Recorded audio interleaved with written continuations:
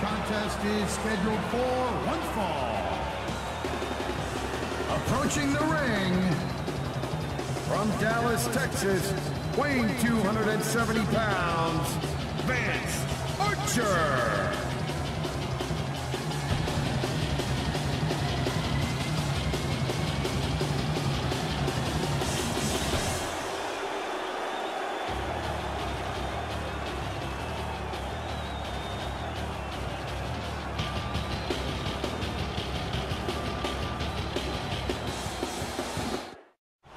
And a jaw-jacking punch.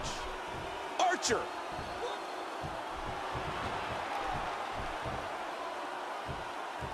What a devastating move by Archer.